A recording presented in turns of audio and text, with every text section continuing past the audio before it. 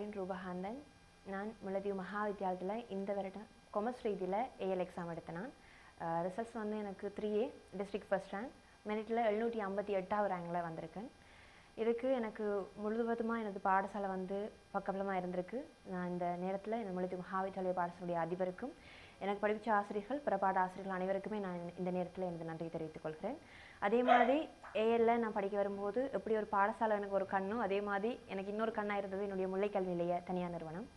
So அந்த நிறுவனத்துக்கு நிறுவனத்துடைய பொறுப்பதிகாரிக்கும் என்னுடைய பாட ஆசிரியர்கள் பிற ஆசிரியர்களுக்கும் நான் இந்த நேரத்தில் நன்றி செலுத்திக்கிறேன்.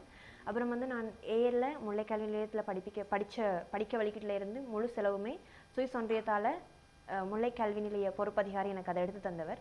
அவங்க தான் என்னுடைய முழு படிப்புக்கான செலவையும் ஏற்றுக்கிட்டவங்க ஸோ அவங்களுக்கும் நான் இந்த நேரத்தில் நன்றி செலுத்திக்கிறேன். அப்புறம் வந்து நான் ஏஎல்ல தான் முழுத்தி மகாவித்தியாலயத்தில் வந்து சேர்ந்தேன் அது வரைக்கும் நான் அஞ்சில் இருந்து ஓஎல் மட்டும் எனக்கு எது நல்லதோ எது கெட்டதோ நான் என்ன பாடம் எடுக்கணும் அது இதண்டு சகலதும் எனக்கு சொல்லி தந்தது என்னுடைய Mullaitivu Roman Catholic girls school இந்த நேரத்தில் நான் என்னுடைய அதிபருக்கும் என்னுடைய ஆசிரியர்களுக்கும் நான் இந்த நேரத்தில் தேங்க் பண்ணிக்கிறேன்.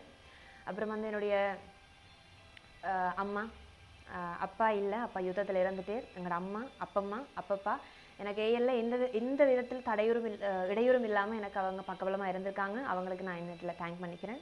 அப்புறம் வந்து டீச்சர்ஸ் மேர் எனக்கு முக்கியமாக என் வாழ்க்கையில் நான் எது சரி எந்த பாதையில் போகணும் நான் என்ன படிக்கணுன்றத எனக்கு எல்லா நேரத்துலையுமே வந்து உணர்த்தி கொண்டிருந்தது என் டீச்சர்ஸ் மேர் தான்.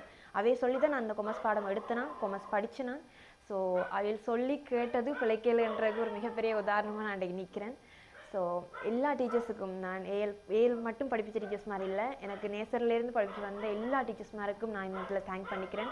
நிறையா ஏதாவது ஒரு டீச்சர்ஸ் கூட நான் மறந்துருந்தா நான் அதை மன்னிப்பும் கேட்டுக்கிறேன். ஆனால் எல்லா டீச்சர்ஸ் மாருக்கும் நான் இதில் தேங்க் பண்ணிக்கிறேன். அப்புறம் வந்து முக்கியமாக இப்படி ஒரு நல்ல ஒரு இடத்தையும் நல்ல என்னை சுற்றி உள் சுற்றி நல்ல மனிதர்களையும் தந்த அந்த கடவுளுக்கும் இந்த பிரபஞ்சத்துக்கும் நான் நன்றி சொல்லிக்கிறேன்.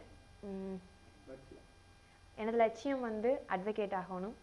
அது மட்டும் இல்லை பேர் யூனியில் படித்து அட்வொகேட் ஆகணுன்றதான் மிகப்பெரிய லட்சியம். ஸோ அது நடக்கும் நடந்துட்டு.